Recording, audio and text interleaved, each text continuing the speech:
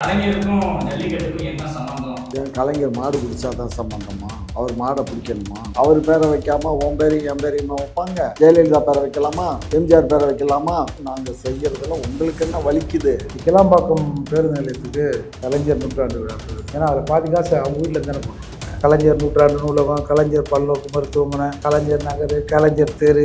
இன்னும் ஒன்றே ஒன்று தான் கலைஞர் கக்கூசு கலைஞர் குப்பை கிடங்கு இப்படி தான் பேர் வைக்கணும். ஒவ்வொரு டிஸ்ட்ரிக்ட்லையும் கலைஞருக்கு செலவழிக்கணும் ஏன்னா அடுத்த தலைமுறைக்கு இல்லை இந்த தலைமுறையில் சில பிள்ளைகளுக்கு தமிழகத்துக்கு துரோகம் செய்தவர் யாருன்னு நம்ம அடையாளம் காட்டுறதுக்கு ஒரு ஆள் வேணும்ல. சிங்கர் பேரை வச்சா பத்தாயிரம் ஃபிக்ஸட் டெபாசிட்டில் நானே போட்டுக்கலாம். திரும்பியும் பக்கமெல்லாம் கருணாநிதி கருணாநிதி தான். எரிச்சல் தான் ஜனங்க இருக்க போன அரசு காலத்துல எங்க பார்த்தாலும் அம்மா அம்மா அம்மா அம்மா அம்மா அம்மா குடிநீர் அம்மா உணவகம் எல்லாம் அம்மா பேர்லயே போச்சு. இப்ப எல்லாம் ஒரு ஒரு- மனுஷனுக்கும் இந்த தோணல. அப்ப எல்லாம் யாருமே கேட்கல.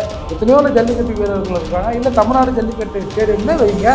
உலக அளவில் தெரியும். குடிக்கிறதுக்கு வந்து குப்பளிக்கிறது பண்ணியிருக்காங்க. பேமாவன் பேரன் சார் இவங்களுக்கும் மக்களுக்கும் சம்மந்தம் இல்லை. இவங்க பண்ணுறதெல்லாம் ப்ராடு தனம் இது விளம்பரத்தனம். அப்ப கலைஞர் பேர் வைக்காம யார்? ஏன் தமிழ்நாட்டுக்கு பேரை மாற்றிடுங்களேன் தமிழ்நாடுக்கு பேரை கூட மாத்தலாம். நல்ல ஐடியா தான். முத்தமிழ் அறிஞர் கலைஞர் நாடுன்னு வச்சிருங்க. அதில் தமிழ் வந்துருங்கள நல்லா தான் இருக்கு. நான் ஆட்சிக்கு வரும்போது அதை செய்யறேன் நான் முதலமைச்சரா வரும்போது அவ்வளவு நாளுக்கா தமிழெல்லாம் முட்டாளா இருப்பான்னு நீங்க நினைக்கிறீங்க? முதல் காலையே அவர் பேரன் தான் ஒத்துக்குவாரு என்னாலும் பொறுத்து இருந்துப்பாரு அவர் வீட்டு காலையா? இல்லை ஊரா வீட்டு காலையா? அவர் விட்டு ஊரா? விட்டு காலை எந்த காலையோ அவர் தான் முத காலையை அவுத்து விடுவாரு இன்னொருத்தர் இந்த பெரியார் மண்ணு புண்ணுங்க எல்லாம் வெளியே சொல்றாங்க இங்க பாருங்க இது பெரியார் மண்ணு தான் இதுல ஒண்ணும் மாற்று பெரியார் மண்ணு இல்ல. பெரியார் மண்ணு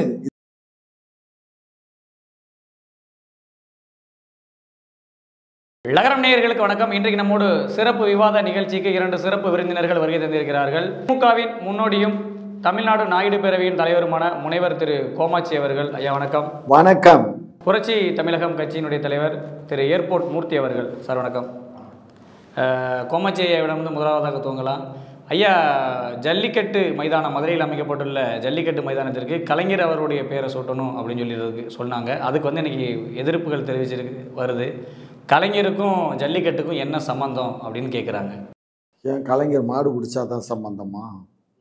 அவர் மாடை பிடிக்கணுமா? இல்லை ஜல்லிக்கட்டு மைதானத்துக்கு அவருடைய பேரை வைக்கிறதுக்கு என்ன காரணம்? அவருடைய புதல்வர் அவருடைய திராவிட முன்னேற்ற கழகத்துடைய ஆட்சி நடக்குது. அந்த ஆட்சியில கட்டப்பட்ட கட்டடம்.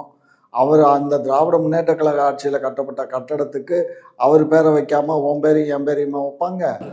திராவிட ஆட்சி காலத்தில் கட்டப்பட்டதுன்னா அரசுடைய மைதானம் சொல்லலாம் ஜல்லிக்கட்டு மைதானம் சொல்லலாம். அவங்க அப்பா பேர் வைக்கிறது தவறுன்னு சொல்லி சொல்லி தானே ஏப்பா மத்திய சென்ட்ரல் ரயில்வே ஸ்டேஷனுக்கு எம்ஜிஆர் பேரை வச்சிங்க எம்ஜி ராமச்சந்திரன்னு. அது மாத்திரம் எப்படி? ரெண்டாவது கலைஞர் வந்து அடிக்கல் நாட்டி க பஸ் ஸ்டாண்டு கட்டி திறக்கிறதுக்கு முன்னாடி அந்த கோயம்பேடு பஸ் ஸ்டாண்டுக்கு ஜெயலலிதா அம்மா பஸ் ஸ்டாண்டுன்னு வச்சிங்க. அதெல்லாம் என்ன இனிக்குதா?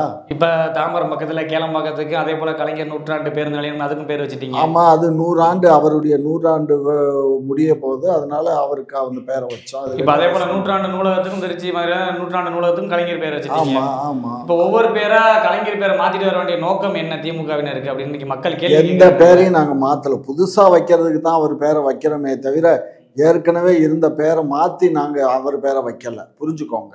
இல்ல நிறைய திட்டங்களுக்கெல்லாம் கலைஞர் திட்டம்னு சொல்றாங்களா? மக மகளிர் உரிமை தொகை இருந்தது கலைஞர் உரிமை தொகை அப்போ அறிவாலயத்தில் இருந்தா எடுத்து பணத்தை கொடுக்குறாங்கன்னு கேட்குறாங்க பாரு ஒரு விஷயம் புரிஞ்சுக்கோ. எங்களுடைய ஆட்சி நடக்குது. எங்க ஆட்சியின் சார்பா எங்களுடைய முன்னாள் தலைவருக்கும் முன்னாள் முதல்வருக்கும் நாங்க செய்யறதுல உங்களுக்கு என்ன வலிக்குது? இல்ல மக்கள் கேள்வி கேட்குறாங்க இல்லையா? மக்களுடைய வரி பணத்தில் கட்டினதுக்கு வந்து இன்னைக்கு அவர் மறைந்து முன்னாள் அவர் கலைஞர் முன்னாள் முதலமைச்சர் மறைஞ்சு எதிர்ப்பு தெரிவிக்கிற மக்களுக்கு நாங்க பதில் சொல்லிக்கிறோம். நீங்க கவலைப்படாதீங்க. அப்ப யார் பேரை வைக்கலாம்? ஜெயலலிதா பேரை வைக்கலாமா?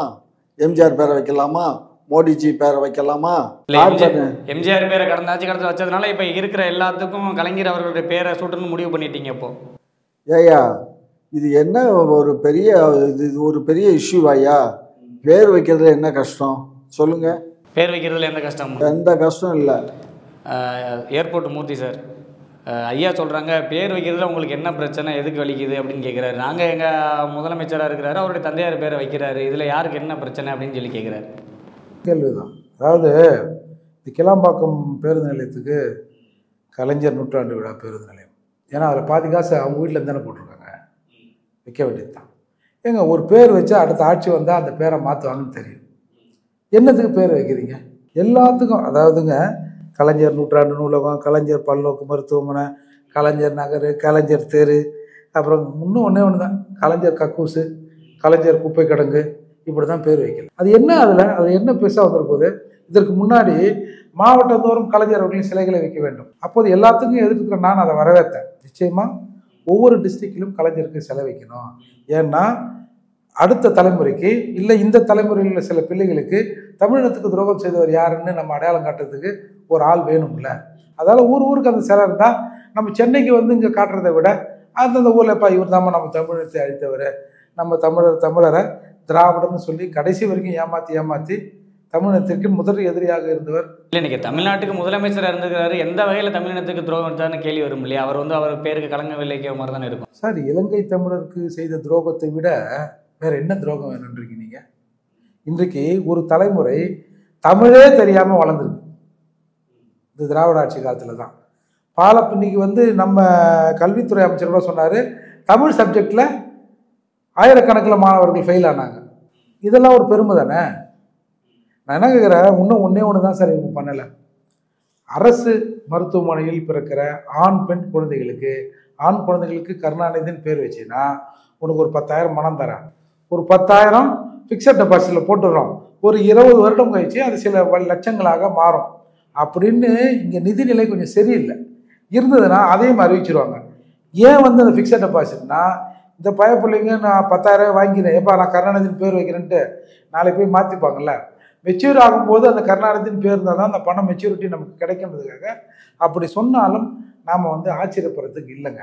ஏங்க ஜல்லிக்கட்டு மைதானத்துக்கும் கருணாநிதி அவர்களுக்கும் என்னங்க சம்பந்தம்? இல்லை அதே தான் மக்கள் வந்து கேள்வி கேட்குறாங்க ஜல்லிக்கட்டு மைதானத்துக்கு அவருடைய பேர் வைக்க வேண்டிய நோக்கம் என்ன இருக்குது ஜல்லிக்கட்டுக்கும் அவருக்கும் என்ன சம்மந்தம் இருக்குது அப்படி சொல்லப்போனால் ஜல்லிக்கட்டுக்கு தடை வந்தது இவரும் காங்கிரஸும் சேர்ந்து இருந்த போது தான் ஜல்லிக்கட்டுக்கு தடை வந்தது.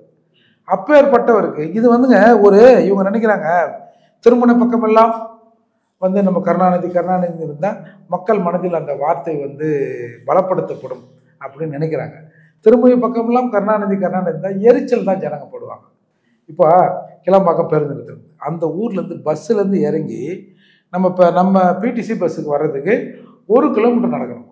ஒரு கிலோமீட்டர் நடந்து வரணும்? முக்கால் கிலோமீட்டருக்கு மேலே ஒரு நியரிங் ஒரு கிலோமீட்டர் அப்போ அந்த மூட்டை முடிச்சோட அந்த ஒரு கிலோமீட்டர் தூக்கின்னு வருவான் திட்டினே வருவான்ல. கண்டிப்பாக. நல்லா எங்கேயோ கோயம்புலேருந்து கிளம்பி அங்கே போனோம் இப்போ ஊருக்கு போகிறது இருந்தால் ரெண்டு ஊருக்கு போகிற மாதிரி. சென்னையிலேருந்து கிளம்பி கிளாம்பாக்கம் ஒரு ஊருக்கு போகிறோம் அந்த ஊர்லேருந்து கிளம்பி சவுத்துக்கு ஊருக்கு போகிறோம் அந்த மாதிரி ஆகிப்போச்சு அப்போது இந்த மாதிரி முட்டாள்தனமான எல்லா திட்டங்களுக்கும் கருணாநிதி பேரை வைக்கிறது காசு அடிக்கிற எல்லாத்துக்கும் கருணாநிதி பேரை வைக்கிறது. இது வந்து இவங்களுக்கு ஒரு அநாகரிகமாக தெரியலையா? இது இவங்க அப்பா பாலிசிங்க. இல்லை ஐயா தான் சொல்கிறாரு நாங்கள் வைக்கிறதுல என்ன தவறு இருக்குன்னு கேட்குறாரு என்ன இல்ல? உனக்கும் அதுக்கும் என்ன சம்பந்தம்? இப்போ நீங்க இப்போ கொஞ்ச நாளைக்கு முன்னாடி இதே திமுக ஒரு பிரச்சனை கிளப்பிச்சு. அதாவது மத்திய அரசு திட்டங்களில் வந்து மோடி பெயர் வருது. பிரதம மந்திரி யோஜனா திட்டம் பிரதம மந்திரி அந்த திட்டம் கிசான் விகாஸ் திட்டம் அப்படிலாம் வந்ததில்ல. இது வந்துங்க இந்திரா காந்தி காலத்தில் இருந்தே அதன் பேரில் தான் வந்தது. அப்போ உங்களுக்கு வலிச்சது இல்லை? அப்போ நீங்கள் கிரிட்டிசைஸ் பண்ணீங்கல்ல? இப்போ சக காலத்தில் கருணாநிதிக்கு எதிராக திராவிடத்துக்கு எதிராக ஒரு சித்தாந்தம் இங்கே வலுவாக பேசப்பட்டு வருகிற நிலையில் திரும்ப திரும்ப கூட்டாந்து கூட்டாந்து இந்த கருணாநிதி பேரை முன்னிறுத்துவது இது வந்து இவர்களுக்கு வந்து மைனஸாக தான் போகுமே தவிர எந்த காலத்திலும் கருணாநிதி அவர்கள் போட்டப்பட மாட்டார் அவர் கண்டிப்பாக இதை பார்க்குறோம் தூட்ட தான் செய்யும். ம். ஐயா கோமாச்சி ஐயா தான் சொல்லணும். எங்கே பார்த்தாலும் ம திருமண பக்கம் கலைஞர் பேரை வச்சா மக்கள் வந்து எரிச்சல் தான் படுவாங்க அப்படின்றாங்க ஏர்போர்ட். இல்லை இல்லை இப்போ நம்ம திரு ஏர்போர்ட் மூர்த்தி அவர்கள் சொன்னாங்க பிறக்கக்கூடிய குழந்தைக்கு ஆண் குழந்தையா இருந்தால் கலைஞர் பத்தாயிரம் ரூபா ஃபிக்ஸட் டெபாசிட்டில் போட்டால் கலைஞர் பேரை வச்சிடலாம் அப்படின்னு. அதை நானே கூட ஆரம்பித்து வைக்கிறேன். அந்த மாதிரி குழந்தைகள் பிறந்தால் ஃபிக்ஸடில் பத்தாயிரம் போட்டு கலைஞர்னு பேரை வச்சு பத்தாயிரம் டெபாசிட் பண்ணி. டெபாசிட் பண்ணி. ஏதாவது பச்சை குத்துற மாதிரி திட்டம் எதுவும் கலைஞர் பச்சை இல்லையாண்டா பிறந்த குழந்தைக்கு போய் பச்சை குத்துவாங்க. இல்ல வா- வா- அது மாதிரி அந்த பிறந்த குழந்தைக்கு திட்டம் ஆத்தா அப்பனை குத்துற வேண்டியது தான் ஐயா அது கூட நல்லா இருக்கும். பேர் பச்சை குத்திட்டோம்னா நம்ம பேரை வந்து நம்ம எந்த பேர் வேண்டியதில்லை. குத்துறோமோ கலைஞர் பேரை வச்சா பத்தாயிரம் ஃபிக்ஸட் டெபாசிட்டில் நானே போட்டு தர்றேன். கலைஞர் பேரை பச்சை குத்திக்கிட்டால் எவ்வளவு போடுவீங்க பேங்க்ல பச்சை குத்தலாம் வேண்டிய அவசியம் இல்லை. குழந்தை பிறந்த குழந்தை உடம்பு என்னத்துக்கு ஆகும் நமக்கு பச்சை குத்துனாலே இல்ல நாங்க குத்திக்கிட்டா இப்ப இளைஞர்கள் குத்திக்கிட்டா எங்களுக்கு எத்தனை லட்சம் போடுவீங்க? லட்சமா? லட்சியவாதிகளுக்கு எதுக்கு லட்சம்? அவர் பேரை கையில குத்திக்கிட்டா நீ லட்சியவாதி. உனக்கு எது காசு? குழந்தை பிறந்த குழந்தை அதனுடைய வளர்ச்சியை க கருத்தில் கொண்டு அதுக்கு பணம் போடலாம். உனக்கு எதுக்குமா நீ தான் உழைக்கிற இல்லை அப்போ கருணாநிதினு பேர் வைக்காத குழந்தைக்கு போட மாட்டீங்க. கலந்தாநிதி பெயர் வைக்காத குழந்தைக்கு கிடையாது. கிடையாது. அது என்னுடைய இண்டிவிஜுவல் நாளைக்கு அதாவது government- நீங்க ட்ரஸ்ட்ல இருந்து தரீங்களா இல்ல அரசாங்க பணத்துல இருந்து தர போறீங்களா? இல்ல இல்ல. நான் என்னுடைய பணத்துல இருந்து இண்டிவிஜுவல் இப்போ ஐயா மகளிர் உரிமை தொகைன்னு இருந்துச்சு. அதை வந்து இன்னைக்கு வந்து கலைஞர் உரிமை தொகைன்னு சொல்றாங்க. கலைஞர் உரிமை தொகைன்னா அறிவாலயத்துல இருந்து எங்களுக்கு எடுத்து கொடுக்குறாருன்னு இன்னைக்கு மக்கள் கேட்குறாங்க அறிவாலயம் காசா மக்களோட வரிப்பணம் தானே? இல்ல அறிவாலயத்துல இருந்து அரசியல் பண்ணி ஆட்சியை கைப்பற்றினதுனால கலைஞருடைய பேரை வச்சிருக்கோம் அவ்வளவுதான். இல்ல எல்லா திட்டத்துக்குமே வந்து கலைஞர் திட்டம்னு சொல்லி மாத்துறாங்க. அறிவாலயத்துல இருந்து எங்கேயா இருக்க? போன அரசு காலத்துல எங்க பார்த்தாலும் அம்மா அம்மா அம்மா அம்மா அம்மா அம்மா குடிநீர் அம்மா உணவகம் எல்லாம் அம்மா பேர்லயே போச்சு. அம்மா பொங்கல் ஏனா அம்மா பொங்கல் ஏனா அம்மா எதை எ- எல்லாம் இது தாலிக்கு தங்கம் எல்லாமே அம்மா பேர்ல தானப்பா வச்சீங்க? அதனால இப்போ நீங்க உங்க ஐயா பேர்ல வைக்கிறீங்க. இப்ப எல்லாம் ஒரு ஒரு ஒரு மனுஷனுக்கும் இந்த தோணல. அப்ப எல்லாம் யாருமே கேட்கல இன்னைக்கு என்ன புதுசா நாங்க பேர் வச்ச உடனே மாத்திரம் கேட்கணும்னு உங்களுக்கு தோணுது? அன்றைக்கு அம்மா பேர் வைக்கும் போது இதே எதிர்க்கட்சியா இருக்கக்கூடிய இதே திமுக அரசு வந்து இன்னைக்கு எல்லா திட்டங்களையும் இன்னைக்கு ஜெயலலிதா அவர்களுடைய பேரை வைக்கிறீங்களேன்னு சொல்லி நீங்க கொடி பிடிச்சி கோஷம் போட்டீங்களே இன்னைக்கு அப்ப கலைஞர் பேர் வைக்கிறது மட்டும் நியாயமான அவங்க நாங்க ஒண்ணும் கொடியை பிடிச்சு கோஷம் போடல. அம்மா பேரை வச்ச போது நாங்க யாரும் எதிர்ப்பு அம்மா. உணவகம் இப்ப நடைமுறை இருக்குன்னு கேளுங்க. அம்மா உணவகம் நடைமுறையில் இருக்கிற அம்மாவோட திட்டங்கள் ஏயா அம்மா உணவகம்னு மா வா வா, ஒரு நாளைக்கு இரநூறு கோடி ரூபாய்க்கு எங்கேயா போறது? நாட்டுல கா அந்த அம்மா இரநூறு கோடிக்கு ஆரம்பிச்சு வச்சுட்டு அந்த ஆளு என்ன பண்ணிவிட்டான் பூரா நாலு லட்சம் கோடியை கடனை வச்சுட்டு போயிட்டான் ஏற்கனவே அந்த கடனுக்கு வட்டி கட்டிக்கிட்டு இப்ப நாங்க ஒரு ரெண்டரை லட்சம் கோடியை கடனை வாங்கி தான் இப்ப நாங்க உருட்டிட்டு இருக்கோம் அந்த அரசை. ஏற்கனவே என்ன பண்றீங்க? ஏற்கனவே அதிமுக பத்து வருஷத்துல மொத்தமா அ- அஞ்சரை லட்சம் கோடி கடன் வச்சுட்டு போனாங்க. நீங்க வெறும் முப்பதே மாசத்துல மூணு லட்சம் கோடி கடன் வச்சிருக்கிறதா சொல்றீங்களே எந்த விதத்துல எங்க நியாயம்னு கேக்குறாங்கல்ல மக்கள்? இங்க பாரு அன்றைக்கு பொருளாதார நிலை வேற இன்னைக்கு பொருளாதார நிலை வேற. புரிஞ்சுக்கோங்க.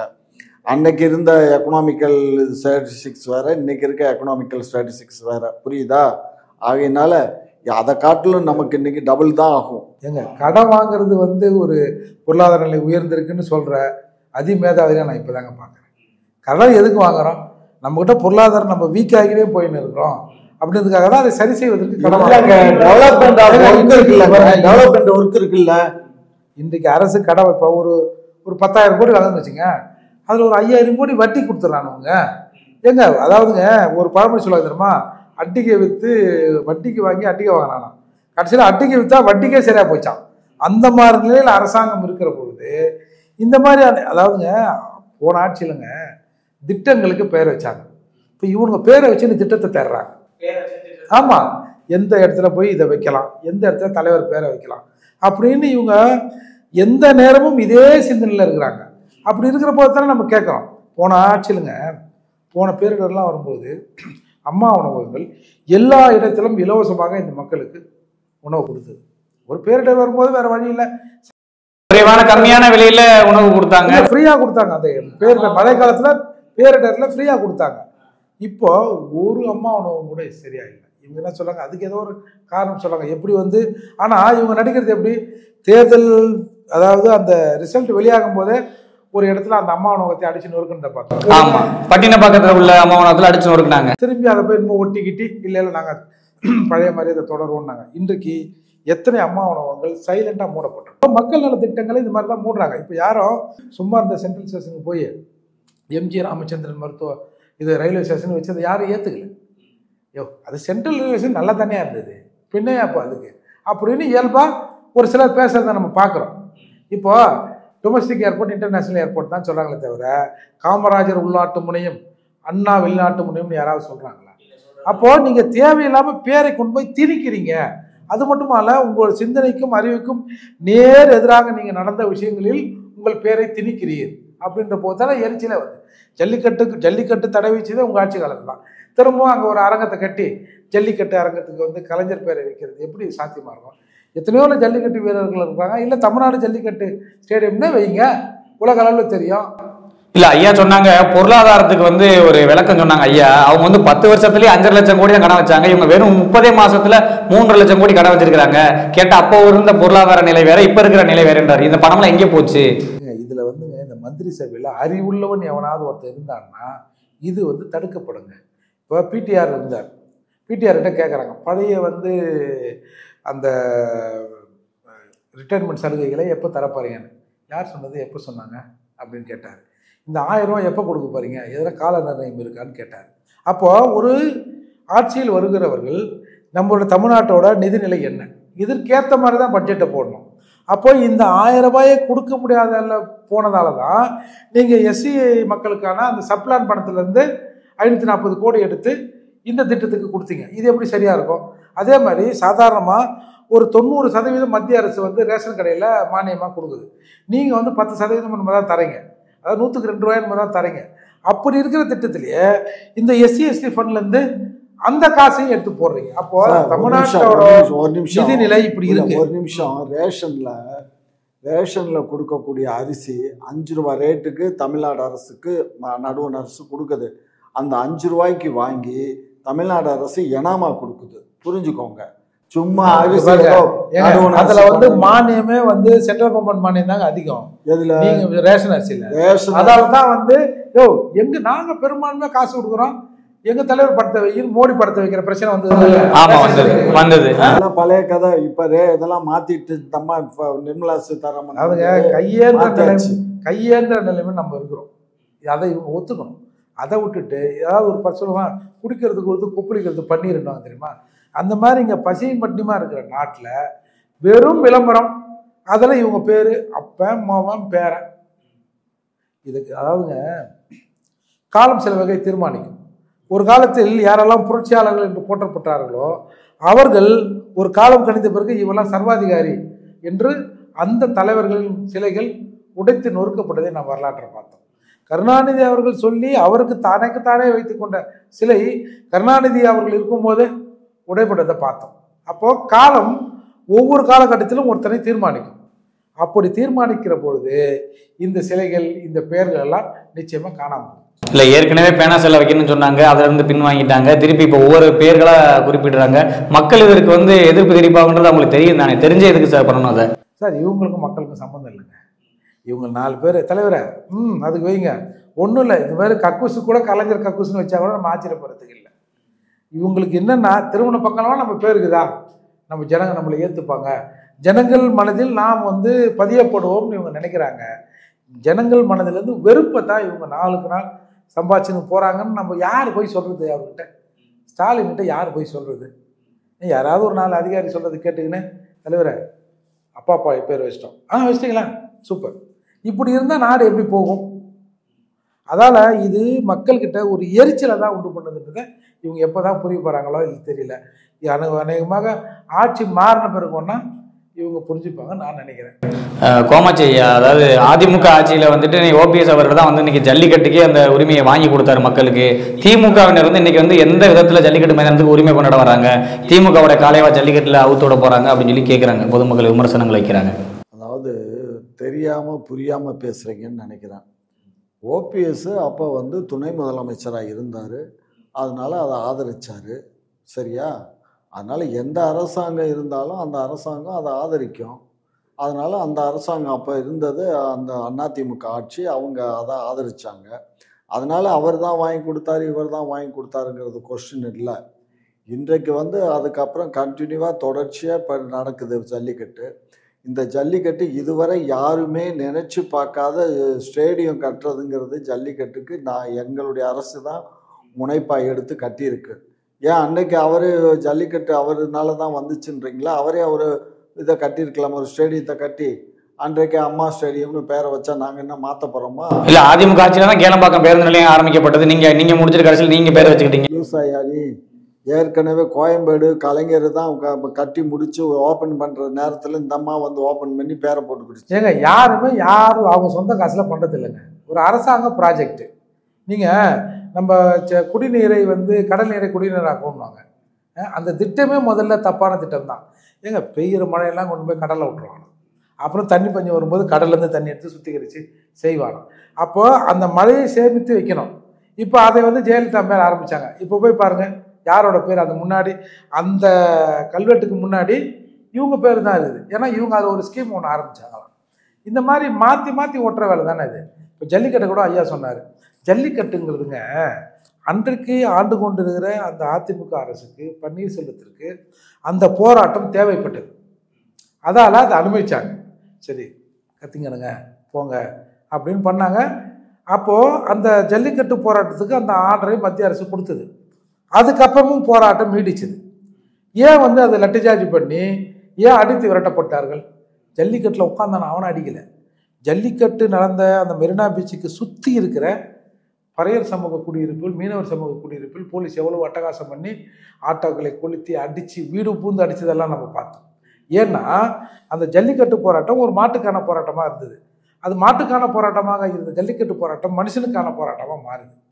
எப்படின்னா தமிழ் தேசிய பொருட்களை நாம் ஆதரிக்கணும். பெப்சி கோக்கு இந்த மாதிரி விஷயங்களை நம்ம தவிர்க்கணும். அந்த கார்ப்பரேட் கம்பெனி விஷயங்களை நம்ம தவிர்க்கணும்னு அந்த போராட்டம் வேறு உருவுக்கு போன உடனே நம்ம நினச்சது இவன் மாட்டுக்காக வர வச்சான். இவனா மனுஷனுக்காக பேசுகிறான் அப்படின்னு வேணுமுன்னே அடித்து திட்டமிட்டு கிளப்பினாங்க. சரி அதுக்கப்புறம் நீங்கள் மா ஜல்லிக்கட்டு போடுறதுக்கு இவ்வளோ பேர் கொண்டாங்கன்னு அதுக்கப்புறம் எவ்வளவோ நிகழ்வுகளில் அதே அந்த உறுப்பினர்கள் திருப்பி இளைஞர்கள் கூப்பிட்றான். எத்தனை பேர் வந்தான்? பத்து பேர். ஏழு பேர் நாலு பேர் மூணு பேர். இப்படி தானே வந்தான். இவ்வளோ பேசுகிறாங்களே நாங்கள் ஜல்லிக்கட்டுக்காக இப்படி இருக்கிறோம் அந்த போராட்டத்தை நாங்கள் வரவேற்கின்றவங்க ஏன் மற்ற போராட்டங்களுக்கு மெரினா பீச்சை வந்து திறந்து விடலை? அது ஒரு கேள்வி இருக்குல்ல. அதால் இவங்க இவங்க பண்ணுறதெல்லாம் பிராடுத்தனம் வந்து விளம்பரத்தனம். இதை வந்து மக்கள் நிச்சயமாக இதுக்கு வந்து ஒரு விலையை தருவார் அவருக்கு என்னங்க வாய் புளிச்சதோ மாங்காய் புளிச்சதோன்னு பேசிட்டு அவர் பாட்டுக்கு கார் எடுத்துகிட்டு போயிட்டே இருப்பார். உள்ள நிலைமை வந்து மக்கள் வந்து கலைஞரையும் கலைஞருடைய பேரையும் மதிக்கிறாங்க. அதனால அவருடைய பேரை வைக்கிறோம். அவ்வளவுதான். யார் மதிக்கிறாங்க? ஜல்லிக்கட்டுக்கு வந்து எல்லாரும் எப்பா கலைஞர் பேரை வைங்க கலைஞர் பேரை வைங்க அப்படி சொல்லி முன்மொழிஞ்சிருக்காங்களா? எல்லாம் மக்கள் சொன்னதுனால தான் நாங்கள் வைக்கிறோம். மக்கள் அதிகமான மக்கள் எங்கள்கிட்ட கேட்டுக்கிட்டாங்க. அந்த யூனியன் அந்த பஞ்சாயத்துல அந்த முனிசிபாலிட்டியில தீர்மானம் இருக்கக்கூடிய திமுக முனிசிபல் முனிசிபல் கவுன்சிலர்கள் யாராவது கோரிக்கை வச்சிருக்காங்களா? மக்கள் மக்கள்னா இங்க பாரு. திமுக குடும்பத்தில் இருக்கிற மக்களா அந்த கார்பரேஷன்ல மதுரை கார்பரேஷன்ல தீர்மானம் போட்டு கலைஞர் பேர் வைக்கணும்னு சொல்றாங்க. அப்ப கலைஞர் பேர் வைக்காம யார் ஏன் தமிழ்நாட்டுக்கு பேரை மாத்திருங்களேன்? தமிழ்நாடுக்கு பேரை கூட மாத்தலாம். நல்ல ஐடியா தான். ஆனா தமிழ்ங்கிறது தமிழ் மொழியாச்சே. அதனால இல்ல முத்தமிழ் முத்தமிழ் அறிஞர் கலைஞர் நாடுன்னு வச்சிருங்க. அதுல தமிழ் வந்துரும்ல. நல்லா தான் இருக்கு. நான் ஆட்சிக்கு வரும்போது அதை செய்றேன். நான் முதலமைச்சரா வரும்போது நீங்க சொன்ன ஐடியாவை நான் மேற்கோள் காட்டி அவ்வளவு நாளுக்கா தமிழெல்லாம் முட்டாளா இருப்பான் நீங்க நினைக்கிறீங்க? நாங்க வந்து விவரமே இல்லாம ஏங்க. நீங்க சொல்றதெல்லாம் கேட்டுக்கின்னு இல்ல தலையாட்டிக்கல இல்ல இருப்புன்னு ஐயா நினைக்கிறார் இல்ல, ராமர் ராமர் ராமா ராமா ராமா ராமான்னு சொல்லிட்டு எல்லாம் வடநாட்டுல இருக்க முறை சக்கு சக்குன்னு ஓட்ட குத்துனான் இந்த ராமர் இந்த நாட்டுக்கு யாருக்கு என்ன பண்ண- ஏன் ராம ராம ராமன்றாங்கல்ல? தேலம்மா வீட்டுக்கு போய் இன்விடேஷன் கொடுத்தாங்க. ஏய் என் வீட்டு வாசல தொடாத. நாங்க அதுக்கு எதிரானவங்க. ஏன் சொல்ல வேண்டியதானே ஏன் சொல்லல? ஒரு விருந்தோம்பலுங்க அது. ஒரு இருந்தவங்கலாம் வீட்டுக்கு ஒரு கெஸ்ட் வந்து பத்திரிக்கை வச்சா அதை வாங்கி அதான் உங்களுக்கு பிடிக்காத கஷ்டாச்சு அந்த விஷயமே பிடிக்காது உங்களுக்கு. இப்ப திடீர்னு நாங்க அந்த கெஸ்ட் வந்திருப்பாங்க. ஏற்கனவே பேசி அப்பாயின்மெண்ட் வாங்கி தானே அப்பாயின்மெண்ட் வாங்கி ஒரு சாதாரண வீட்டுக்கு வேணா சாதாரணமா போய் கொடுத்துடலாம். சார் நாங்க இதுல உடன்பாடு இல்ல. எங்க தலைவர் வந்து நேர் எதிரா இருக்காரு. எங்க வீட்டுக்கெல்லாம் வராதீங்க. அப்படின்னா என்ன ஆயிடும்? ஏன் சார் சொல்லல அவங்க? அவங்க தான் போய் சொல்லணும். நாங்க வந்து யாரையும் வெறுக்கிறதும் இல்லை யாரையும் மறுக்கிறதும் இல்லை. எங்களுக்கு எம்மதமும் சம்மதம். புரியுதா? அதே சமயத்துல எங்களுக்கு வந்து சனாதனம் தான் ஆகாது. சனாதனங்கிறது என்ன? ஜாதிக்குள் ஏற்றத்தாழ்வு இருக்கக்கூடாது. ஏங்க ராமர் கோயில் வரலாற்றை நீங்க எடுத்தாலே மனித ராமர் கோயிலே நீங்க சனாதனம் தான் உருவாச்சுன்னு சொல்றீங்க. மனித மனித இயக்கத்திலேயே மனிதன் மனிதனா வாழணுங்கிறது தான் எல்லா ரத்தமும் சிவப்பு அணுக்கள் தான். அதனால எல்லாமே சிவப்பு அணுக்கள் கொண்ட மனுஷன் எல்லாமே ஒன்றா தான் வாழணும்.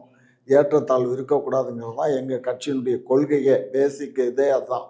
அதனால நாங்கள் அதை கடைப்பி ரா ராமரை பற்றி ஐயா சொல்கிறாங்க எனக்கு ராமரை பற்றி நான் வால்மீகி ராமாயணத்தில் நிறைய ஏற்கனவே. இப்படித்தாங்க அதை நான் இந்த கடுமையாக அப்ஜெக்ஷன் பண்ணுறேன் ஏற்கனவே இப்படி தான் ஒரு சேனலில் ராமரை பற்றி கண்ணாமண்ணான்னு பேசினார். இதெல்லாம் வந்து ஒரு பெரும்பான்மை மக்களின் அந்த உணர்வுகளை புண்படுத்தும் விதமாக கருத்தை பதிவுறதை நான் வந்து அது எப்படிங்க? எனக்கு எனக்கு என்ன தோணுதோ அதான் நான் பேச முடியும். நான் படிச்சதை தான் சொல்றேன். ஏன் அப்ப வால்மீகி ராமாயணத்துல இருக்கிறத தப்புன்னு சொல்லுங்க. சரி நான் சொல்லட்டுமாப்பா ஆ, இப்போ வந்து கண்ணதாசன் வந்து வனவாசன் ஒரு புக் எழுதினாரு. பேசுவோம் அதை பத்தி? கலைஞரை பத்தி? ஏங்க வனவாசங்கிற புத்தகத்துக்கும் வால்மீகிக்கும் வால்மீகிங்கிறது தானே ஹிஸ்டரி ஆஃப் இது. சரிங்க கருணாநிதினு வரலாறு நீங்க ஊர் முழுக்க கருணாநிதியை வந்து தூக்கி வைக்கிறீங்க. கருணாநிதி எப்பேற்பட்டவர்? கண்ணதாசன் ஒரு புக் எழுதி அந்த கண்ணதாசன் எப்படிப்பட்ட ஆளுன்னு எனக்கு தெரியாதா? சரி அதை ஒரு டிஸ்கஸ் வைப்போமா? கண்ணதாசன். மோசமா? கருணாநிதி மோசமான்னு? வைப்போம் வைப்போம் கண்ணதாசன் பண்ண தப்புகளை வெளிப்படையா சொல்லுகிற நபருங்க. நீங்க அப்படியே கமுக்கமா பண்ற நபர்கள் சார் சும்மா இருங்க சார். ஐயா இப்போ திமுகவினர் வந்து இன்னைக்கு வந்து ஸ்டிக்கர் ஒட்டி ஸ்டிக்கர் ஒட்டி தன்னுடைய பேரை புகுத்துறத விட நல்லது செஞ்சுட்டா மக்களே அவங்க மனசுல அவங்க நிலைப்பாட்டா திமுக வச்சுக்கிற போறாங்க. எதுக்கு. ஸ்டிக்கர் ஒட்டி விளம்பரம் தேடுறாங்க? பேர் வைக்கிறாங்க. நீ ஏன் கோமணம் கட்டாம எது கோட்டு போட்டிருக்க? கோமணத்தை கட்டிட்டு வரலாம்ல. கோமணத்தை கட்டிட்டு வந்து இல்ல கூடிய சீக்கிரத்துல உட்கார்ந்து அதையும் உருவிருவீங்கன்னு நினைக்கிறேன். பேர் வைக்கிறத பார்த்தா நீங்க கலைஞர் பேர் அவர்களுடைய பேர் வந்து தமிழ்நாட்டுக்கு வைக்கிறதா சொல்லிட்டீங்க. மனிதனுக்கு எது தேவையோ தேவையில்லையோ அதை வந்து எங்களுடைய அரசு எங்களுடைய மாண்புமிகு முதலமைச்சர் இது திராவிட மாடல் அரசு அதை செய்யும். உங்களை ஸ்டிக்கர் ஒட்டி செய்யும். ஸ்டிக்கர் எதுல ஸ்டிக்கர் ஒட்டணும்? எல்லாத்துலயும் ஸ்டிக்கர் எல்லாத்துலயும் பேர். பாரு அரசு என்ன நினைக்குதோ அதை செய்யும். அரசு எங்க ஆட்சியில இருக்கு அதனால செய்கிறோம் அடுத்து உங்க ஆட்சி வந்தா நீங்க செய்ய போறீங்க. இதுல என்ன இருக்கு? அதாவது பண்ற திட்டம்லாம் மக்களுக்கான திட்டம்லாம் இல்லைங்க. இவங்க என்ன நினைக்கிறாங்களோ அதை செய்வாங்க. அப்படின்னு வெளிப்படையா சொல்றது நல்ல விஷயம்தான். இது அப்போ இது எங்களுக்கானது இல்லை. வெகு மக்களுக்கானது இல்லைல்ல திராவிட மாடல் அரசு வந்து மக்களுக்கான அரசு கிடையாது. திராவிட கட்சிக்கான அரசு அப்போ. திராவிட மாடல் அரசு வந்து உங்களுடைய ஆட்சி என்ன வேணா செய்வீங்க மக்களுக்கான அரசு இல்ல அப்போ. திராவிட மாடல் அரசு என்று சொன்னாலே மக்களின் அரசு மக்களின் நலன் பேணி காக்கும் அரசு. புரிஞ்சுக்கோங்க. மக்கள் பேரை தான் வைக்கணும் அரசு பேரை தான் வைக்கணும். எதுக்கு கலைஞர் அவருடைய பேரை வைக்கிறீங்கன்னு கேட்பாங்கல்ல அப்புறம். மக்கள்னா யார்? மக்கள் மக்கள் மன்றம்னு வைக்க முடியுமா? அரசு தமிழ்நாடு அரசுன்னு வைக்கலாம் இல்லையா? தமிழ்நாடு அரசு தான்ப்பா பேர் வைக்கிறதுல உங்களுக்கு என்னப்பா இருக்குது எதுக்கு இந்த மாதிரி எல்லாம்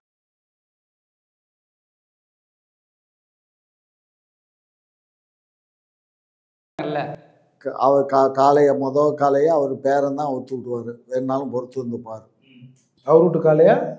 இல்லை ஊரா வீட்டு காலையை அவுத்து விட்டு எங்க ஊரா காலையா? விட்டு காலை எந்த காலையோ அவர் தான் மொத காலையை அவுத்து விடுவார். இல்ல இதெல்லாம் இவங்களுக்கு உண்மையிலே இது ஒரு அநாகரிகமா தெரியலையா? அதாவது கருணாநிதி என்ன என்ன தன்னுடைய பிறந்தநாள் என்ன பண்ணுவாரு? பத்து அல்ல கையில கூப்பிட்டு கவிதை பாட வச்சுட்டு அப்படியே ரசிப்பார். அந்த புத்திங்க அது.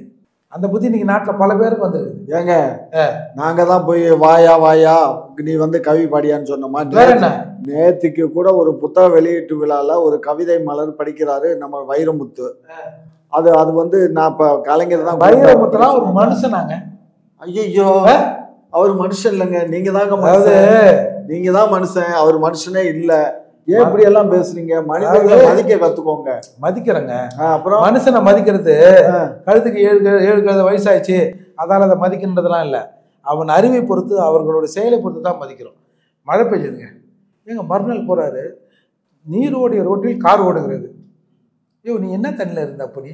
இது இது ம இது மக்கள் எவ்வளோ கஷ்டப்பட்டுருக்கோம். நீ ஒரு கவிஞர் தான். உனக்கு வந்து எதுக்கு மூனை தேவை? நீ வந்து எதனா அந்த மாதிரி எதனா பாடினாதான் உனக்கு எதனா வயிற்று நிரப்ப முடியும். நீ நிரப்பு. நீ கலைஞரை ஆன பூனன்னு ஸ்டாலின் ஆன பூனை என்ன வேணாலும் சொல்லியா. நான் அது அதை பற்றிலாம் நாங்கள் கேட்கல ஏன்? தண்ணியில் நாங்கள் மூழ்கி இருக்கிறோம். தண்ணி ஓடுற ரோட்டில் கார் ஓ நீர் ஓடுற ரோட்டில் கார் ஓடுதுன்னு கவிதை பாடினா இதை நம்ம எதிர்த்து கேட்குறோமா கேட்கக்கூடாதாங்க? இப்போ இன்னும் பெரிய யோகிய மாதிரி. ஐயா மழை பெஞ்சு கார் போற ரோட்ல தண்ணி போயிடுது அதனால அதை தான் க சொ- கவிதை வடிவில் அவர் சொல்றாரு. இதுல என்ன தப்பு இருக்கு? இல்லை இப்போ இப்போ வந்து எல்லா பேரையும் வந்து கலைஞருடைய பேரை வைக்கணும் முடிவு பண்ணிட்டீங்க. இப்போ வருங்கால திட்டத்தினுடைய நோக்கம் என்ன? வருங்கால தமிழகத்தை வந்து என்ன நோக்கத்தோட திமுக அரசு போயிட்டு இருக்குன்னு நீ கேள்வி கேட்குறாங்க வருங்காலம் தமிழகத்தில் வாழ்கின்ற எங்களுடைய இரத்தத்தின் இரத்தமான தமிழ் உறவுகள் அனைவரும் சுபீட்சமாக வாழ்வதற்கு வாழ்வாதாரத்தை தேக்கித்தான் நாங்கள் நோக்கித்தான் பயணித்து கொண்டிருக்கிறோம். அந்த மக்களுக்கு என்ன தேவையோ அதை நாங்கள் அறிந்து தெரிந்து புரிந்து அறிவாலயத்திலேருந்து காசு எடுத்து கொடுத்து அறிவாலயத்திலிருந்து காசு எடுத்து கொடுக்க வேண்டிய அறிவாலயத்தில் என்ன காசு கொட்டியா கிடக்குது? அதனால எங்க மக்களுக்கு என்ன தேவையோ அதை நாங்கள் செய்வோம் நாங்கள் பூர்த்தி பண்ணோம். நீங்க கவலைப்பட வேண்டாம். ஏர்போர்ட் மூர்த்தி சார் அதாவது ஐயா சொல்கிறாரு மக்கள் வந்து மிக க கரிசனையோட அனுசரணையோட மக்களை வந்து அரவணைப்போட திமுக கொண்டு போயிட்டுருக்கு. நாங்கள் அப்படி தான் கொண்டு போக போகிறோம் பேர் வைக்கிறதுக்கு இதுக்கு சம்மந்தமே இல்லைன்னு சொல்கிறாரு முதல்ல மக்களை வந்து பிச்சைக்காரனாக பார்க்குறது இல்லாதவன் ஏளனமாக பார்க்குறது இந்த பார்வையே வந்து இந்த ம இது மக்கள் உரிமைக்கு எதிரானது. இவங்க என்னமோ பெரிய பண்ணையார் மாதிரியும் இவங்க அப்படியே ஸ்பான் பேர்ன் வித் ஸ்பில்லர் ஸ்பூன் மாதிரியும் இவங்க நினப்பு. ஏங்க சாதாரண ஒரு கூத்தாடி குடும்பம் தானேங்க அது. என்ன பெரிய என்னமோ பெரிய கோட்டீஸ்வர குடும்பம் நீங்கள் ஏழை எளிங்களை பார்த்து வந்து உதாசீனப்படுத்துறது. நீங்கள் நல்லா தெரிஞ்சுங்க. நீங்கள் மக்களுக்கான வேலை சார் சார் ஏழையில பார்த்து அசிங்கப்படுத்தணுங்கிற வார்த்தையை வாபசுவாங்க நாங்க எதுக்கு ஏழையில ஏழைகளுக்கான அரசுங்க எங்க அரசு. நீங்க என்ன ஏழையில பார்த்து அசிங்கப்படுத்தணும்னு போறவங்க ஏழைக்கான அரசு ஊசி ஏத்துற மாதிரி ஏழைக்கான அரசுன்னு ஏழைகிட்ட சொல்றது இல்ல ஆ. கார்ப்பரேட் கம்பெனி மீட்டிங் போட்டு இந்த கவர்மெண்ட் ஏழைக்கான கவர்மெண்ட் எல்லாம் நாங்கள் பார்த்துக்கிறோம். உங்களுக்கு என்ன தேவை? அப்படின்னு செய்யறது தாங்க இவங்க. ஏங்க தமிழ்நாட்டில் இன்னைக்கு இருக்கிற எந்த இப்போ இப்போ நம்ம கிளாம்பாக்கம் கான்ட்ராக்ட் எடுத்துப்போம். அது யார்கிட்டங்க கொடுத்துருக்காங்க? இவங்க சொல்கிறாங்கல்ல நாங்கள் தமிழ்நாட்டு மக்களை வாழ வைக்கிறோன்னு.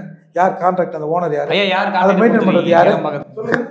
மெயின்டைன் பண்ணது இன்னைக்கு இந்தியாவிலேயே எல்லா இதுலயும் பண்ணிக்கிட்டு இருக்கக்கூடிய மிகப்பெரிய ஒரு ஏன் தமிழ்நாட்டில் ஆள் இல்லையா? சரி தமிழ்நாட்டில் கூட விட்டுருங்க. இங்க பாருங்க. உங்க தெலுங்கு கம்பெனியில் ஒருத்தனும் இல்லையா? ப்ரீவியஸ் எக்ஸ்பீரியன்ஸ் இருக்குங்க. அந்த கம்பெனி வந்து இன்னைக்கு நிறைய ஏர்போர்ட்டுகளை பண்ணுது நிறைய பஸ் ஸ்டாண்டுகளை பண்ணுது. அதனால அந்த கம்பெனி கொடுத்துருக்கு. அவ்வளவுதான்.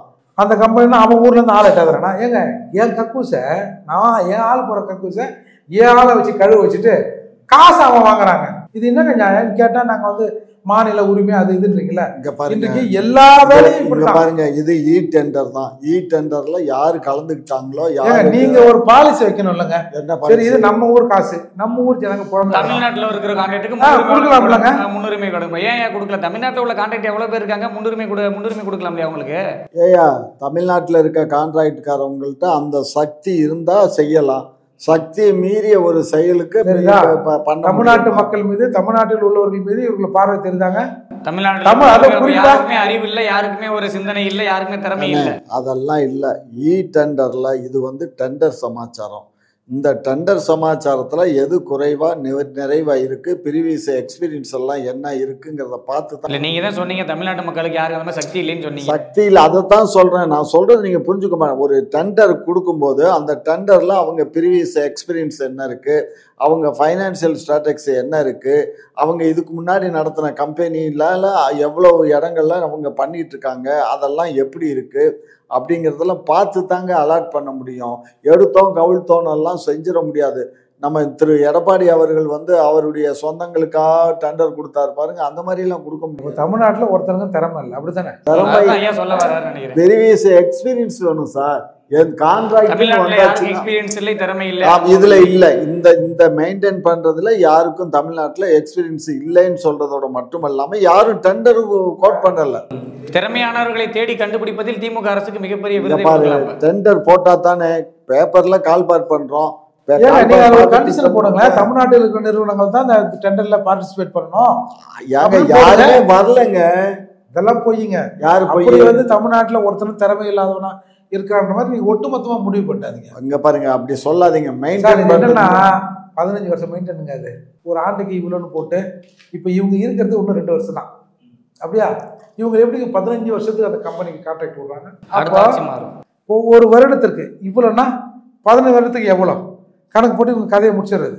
அடுத்த ஆட்சி வருகிற பொழுது ஏய் காசு அங்கே தானே கொடுத்த? அங்கே போய் கேளு அதை ட்ரபிள் பண்ணுறது அதை ட்ரபிள் பண்ணால் யார் பாதிக்கப்படுவா? மக்கள் தானே பாதிக்கப்படுவாங்க.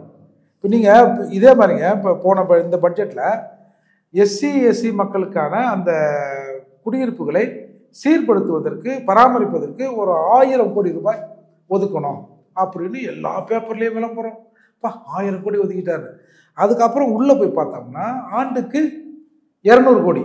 ஐந்து வருடத்திற்கான அந்த அறிவிப்பை இந்த ஆண்டு அறிவிக்கிறாங்க ஐயோ, நீ ரெண்டு வருஷம் கழிச்சு நீ இருப்பியா நீ? நீ ரெண்டு வருஷத்துக்கு நானூறு கோடி அறிவி. அப்போ இதில் சரிதா? எப்படி ஏமாத்துகிற வேலைன்னு ஐயா சொன்னார்ல திறமையை தான் நாங்கள் பார்க்குறோன்னு. இப்போ அதே மாதிரி இப்போ ஒரு இடையில ஒரு தீர்ப்பு வந்ததுங்க. ஏழு பன்னெண்டு ரெண்டாயிரத்தி இருபத்தி மூணில் நம்ம தலைவர் திருமாவளம் இருக்கார்ல அவர் ஒரு கேஸ் போட்டார் ரெண்டாயிரத்தி பதினேழில். அரசு வழக்கறிஞர்களில் வந்து இந்த மாதிரி ரிசர்வேஷன் ஃபாலோ பண்ண ஃபாலோ பண்ணலை அப்படின்னு ஒரு கேஸை போட்டாருங்க. அந்த கேஸு இந்த மாதம் இந்த டிசம்பரில் ஆர்கியூமெண்ட் வருது வந்து ஏழு பன்னெண்டு தீர்ப்பாகுதுங்க. அதில் அரசு என்ன சொல்லுது? நாங்கள் வந்து இதில் திறமை படிப்பு அவன் கோர்ட்டில் வாதாடின விதம் மற்ற விஷயங்கள் எல்லாத்தையும் தான் பார்ப்போமே தவிர ரிசர்வேஷனை ஃபாலோ பண்ணுற அவசியம் எங்களுக்கு இல்லை அப்படின்னு அரசு வழக்கறிஞர் கோர்ட்டில் சொல்கிறார் அரசு வழக்கறிஞர் அவரோட கருத்தியாக சொல்லுவார்? அரசோட முடிவு தானங்க அது அப்போ- திறமையின் அடிப்படையில் அதாவது வழக்கறிஞர்களை நியமிப்பது திறமையின் அடிப்படையில் அப்போ நியமிக்கப்படும் எங்க சமூகம்னா திறமையே இருக்காதுன்னு முடிவு பண்ணிட்டீங்க நீங்க. உங்க சமூகத்துல மா இப்ப இல்லையாங்க? இருக்காங்க சார். ஏங்க ரெண்டு ரெண்டு இரநூத்தி ஒரு பேர் அஞ்சு பேர் போட்டிருக்காங்க. இப்போ இவங்க என்ன சொல்றாங்க? நாங்க திறமையை தான் பார்ப்போம்னா அப்போ ஒட்டுமொத்தமா யாருக்குமே திறமை இல்லையான்னு தானே கேட்க அப்போ அப்படிதானே அர்த்தம்? இல்ல நிச்சயமா அப்ப எப்படி அப்ப எப்படி வந்து சமூக நீதிமன்னு இப்போ சொன்னார்ல தமிழ்நாட்டில் பண்றதுக்கு ஒருத்தருக்கும் திறவசி இல்லைன்னு. அதே மாதிரி இந்த கம்யூனிட்டிகள்லாம் எவனுக்கும் திறவசி இல்லை. நாங்களாக பார்த்து போட்டுப்போம் அப்படின்னு நீதிமன்றம் சொல்லி இன்றைக்கி வந்து அந்த கேஸே வந்து டிஸ்மிஸ் ஆகிருக்குங்க அப்போ இது எப்படி வந்து இவங்க பார்வை எப்படி இருக்குன்னு பார்த்துங்க. அப்போ ஒரு ஃபாஷாலிட்டி இருக்குல்ல. அதன் விதமாக தான் இன்னைக்கு வந்து தமிழ்நாட்டில் இருக்கிறவங்கள ஊக்குவிக்காம வெளியிலேருந்து காசை பார்த்து செய்கிற வேலை தான் இது. நூற்றுக்கு நூறு திராவிட மாடல் ஆட்சிக்கு அரசுக்கு பாசியாலிட்டிங்கிறதே கிடையாது. நாங்க சரி வந்து அப்போ இது என்னங்க ஐயா? நாங்க தாழ்த்தப்பட்ட பட்டியலின மக்களுக்காகத்தான அரசு தான் எங்க அரசே தவிர மிட்டா மிராசுக்கான அரசு இல்லை ஏழை எளிய மக்களினுடைய சரி. அப்போ எப்படி கோர்ட்டில் இந்த மாதிரி அந்த? அரசுக்கு தான் நாங்க வ- பணியாற்றிட்டு இருக்கோம் அந்த அரசு தான் ஆட்சியில. இல்ல பேச்சுல தான் சொல்றீங்க செயல் எதுவுமே செயல்ல இல்லை அதுதான் இருக்கு செயல் வடிவம் செயல்ல இருந்தா எப்படிங்க நீதிமன்றத்தில் அந்த மாதிரி செயல்ல அது நீதிமன்றத்துல நாங்க ஒன்றும் தவறா சொல்லல அவர்களுடைய திறமையினுடைய அடிப்படையில அவங்க நியமிக்கப்படுகிறாங்கன்னு சொன்னோம். இடஒதுக்கீடு ஃபாலோ பண்ண வேண்டிய அவசியம் இடஒது இல்லை. ஆமா இதுக்கு இதுக்கு வந்து இடஒதுக்கீடு கம்பல்சரி கிடையாது. கம்பல்சரி கிடையாது. இதுக்கு வந்து அந்த திறமையினுடைய அடிப்படையில கொடுத்தா அப்போ ரிசர்வேஷன் உள்ளவங்க திறமை இல்லாதவங்க. சார் கொஞ்சம் கேளுங்க சார். நீதிபதி நியமனம் எப்படி சார் நடக்குது? இது நீதிபதி நியமனம் எப்படி நடக்குது? ஆமா அதுல தானே கேக்குறாங்க. சமூக நீதி அடிப்படையில இத்தனை பேர் வேணும்னு கேக்குறீங்கல்ல? உச்ச நீதிமன்றமா உச்ச குடிநீதிமன்றமா கேட்க தெரியுது இல்ல கேக்குறீங்களா இல்லையா நீங்க தான் கேக்குறீங்க கேக்குறோம்ல இப்ப எத்தனை ஜாதி இருக்கு? நானூறு ஜாதியில உங்க ஜாதிக்கு அஞ்சு. பேர்த்து கொடுத்துருக்குல்ல அப்புறம் என்ன? அது மாதிரி ஒவ்வொரு ஜாதிக்கு ரெண்டு பேர் ஒருத்தர்னு கொடுத்தாலே இந்த இருநூறு அட்வொகேட் சரியா அதை போட வேண்டியதானே எங்களுக்கு பதினெட்டு வருது இல்ல போடுங்க. பிசிக்கு வருது போடுங்க. எம்பிசிக்கு போடுங்க. சார் திறமையின் அடிப்படையில் தான் சார் கொடுக்க முடியும். அவர் போய் கோர்ட்ல அப்ப நீதிமன்றத்துல எங்களுக்கு திறமை இல்லைன்னு சொல்ல வரீங்க? அப்படிதானே? திறமை இல்லைன்னு நான் ஏன் சொல்லணும்? உங்களுக்கு தான் நல்ல திறமை இருக்கு. நல்லா தானே வாதாடுறீங்க. ஐயா நீங்க போடலன்னா அப்ப திறமை இல்லைன்னு தானே அர்த்தம். என்ன சார்? இங்க பாருங்க. திறமையினுடைய அடிப்படையில் பெரியார் மண்ணு புண்ணுங்கள்லாம் வெளியே சொல்லாதீங்க. இங்க பாருங்க. இது பெரியார் மண்ணு தான் இதுல ஒண்ணும் மாற்று கருத்து பெரியார் இல்ல. மண்ணு இல்ல பெரியார் இது. திராவிட மண்ணு தான் நீங்க இறுதியாக ஒரு கேள்வியை முன்வைக்க விரும்புகிறேன் இந்த விவகாரத்தை பொறுத்த அளவில் மதுரையில் உள்ள அந்த ஜல்லிக்கட்டு மைதானத்துக்கு கலைஞர் அவருடைய பேர் சுட்டு விழா நடத்தப்பட்டால் மக்கள் எப்படி ஏற்றுப்பாங்க என்ன நடக்கும்? சார் மக்கள் ஒன்றும் இவங்க சொல்கிற மாதிரி மக்கள் ஏற்றுக்கவும் இல்லை ஏற்று போராடவும் மாட்டாங்க சார். அந்த குமுறல் உள்ளுக்குள்ளே இருக்கும். அந்த எரிச்சலை வெளிக்காட்டுவார்கள். நிச்சயமாக அடுத்து ஒரு ஆட்சி வந்த பிறகு அந்த பெயர் எடுத்து நீக்கப்படும் சார். நன்றி. நேர்காணல் கலந்து நம்பிக்கை நன்றி